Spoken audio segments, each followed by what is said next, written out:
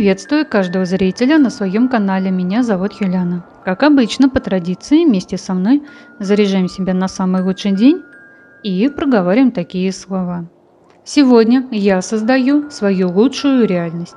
Вот говорим один раз, и вы посмотрите, что ваши действия обязательно приведут к счастью. Ну а теперь уникальное послание на 14 декабря. Вы любимы небесами.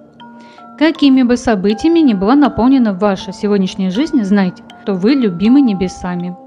Прекрасные ангелы заботятся и наблюдают за вами свысока. И даже если иногда вам кажется, будто вы совершенно одиноки, это не так. В момент одиночества закройте глаза и попробуйте почувствовать присутствие ангелов рядом с вами, их силу и поддержку. Но главное, их безусловную любовь. Она словно свет, проходящий сквозь ваши тела, окутывает нас и дает чувство защищенности. Стоит лишь прислушаться к своим ощущениям и своему сердцу.